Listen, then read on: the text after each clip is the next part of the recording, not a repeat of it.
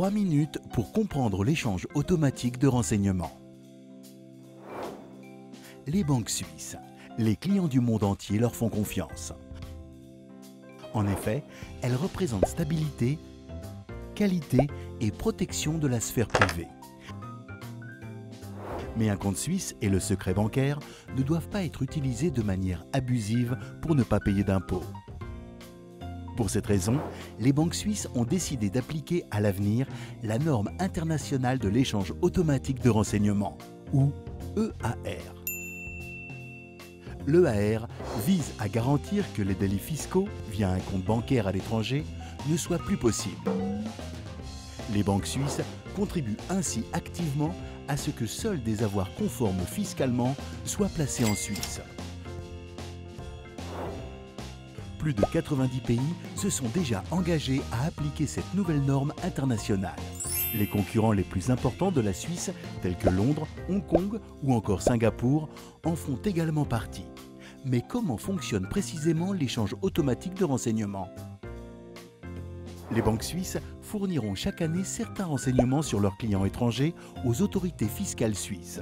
La condition pour cela est que le pays de domicile du client ait lui aussi opté pour l'EAR et qu'un accord ait été conclu avec la Suisse. Les autorités fiscales suisses transmettent ensuite ces renseignements aux autorités fiscales du pays de domicile du client. Les autorités reçoivent exclusivement les renseignements nécessaires en matière fiscale les données personnelles du client, nom, adresse, domicile, numéro fiscal, date et lieu de naissance. Le numéro de compte, le nom et le numéro d'identification de la banque, le solde du compte à la fin de l'année et les revenus bruts du capital. Et c'est tout. Comment le client dépense son argent ou dans quels produits financiers il investit sont des informations qui relèvent toujours du domaine privé et qui ne sont pas communiquées. L'ensemble du processus est soumis à la protection des données et les renseignements échangés peuvent uniquement être utilisés à des fins fiscales.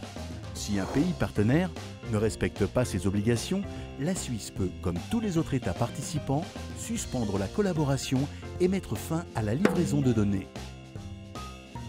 Avec le AR, les clients des banques suisses continuent de bénéficier de prestations hors pair et d'une excellente protection de la sphère privée pour leurs avoirs conformes fiscalement. Pour en savoir plus sur l'échange automatique de renseignements, consultez le site www.swissbanking.org/EAR.